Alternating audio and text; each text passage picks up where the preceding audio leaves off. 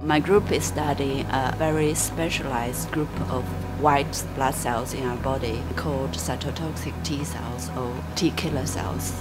Those cells are responsible for clear the virus and bacteria and damaged cells such as mutated cancer cells. We are particularly interested in why, in some cases, people develop severe illness after infection. More importantly, we want to generate some kind of therapeutic target to revert the T cell function to make them work again and to control the disease development.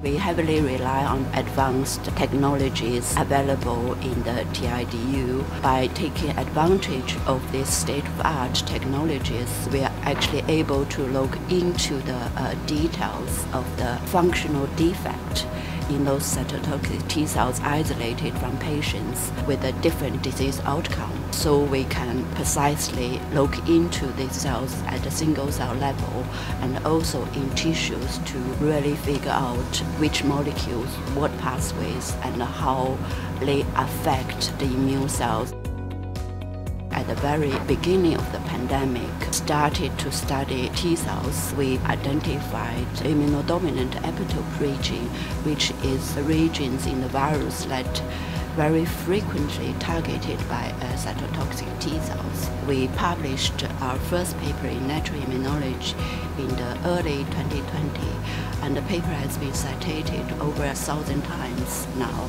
by the scientific community and the colleagues working on the same field, which I hope helped the overall understanding of our immunity to this dreadful virus. Over the past five or ten years, we developed a really nice pipelines to study cytotoxic T cells using multi-omic technology. So we can look at cytotoxic T cells in tissue. We can link the, uh, the function of the T cells in the tissue with other microenvironment.